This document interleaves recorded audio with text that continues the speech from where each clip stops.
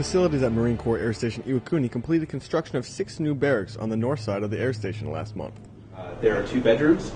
Uh, each Marine would have like their own bedroom and uh, their own uh, fire-rated kitchen to be able to cook in.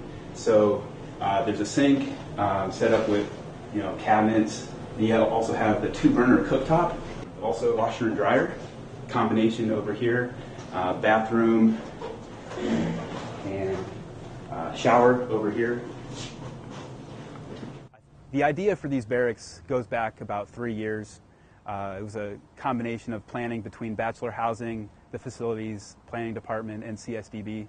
These barracks were replacement barracks for old barracks that were demolished during the construction of the new commercial airport. I'm Petty Officer Marcus Suarez, AFN Iwakuni, Japan.